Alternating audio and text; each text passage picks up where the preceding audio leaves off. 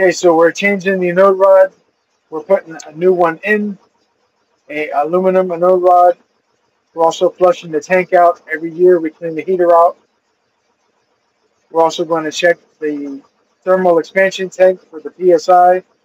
You can check the pressure with the water drained out to make sure the bladder has not blown out. This is also a good time to check the T&P valve to make sure the relief valve is opening and closing and there's no leaks. This is a good service to do every year.